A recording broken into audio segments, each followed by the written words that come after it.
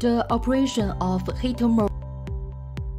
Press the power on button to enter the working screen. Before working, adjust the display screen to the appropriate operating angle. Click the menu. Enter the main menu page. Click the heater menu. TUMTEC splicing machine preset 50 heater modes.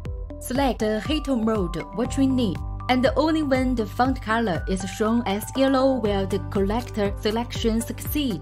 When you go back to the operations page, you will see the mode of your choice.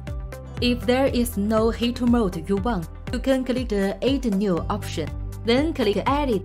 Select the template, then according to the actual demands, modify the name and the parameters.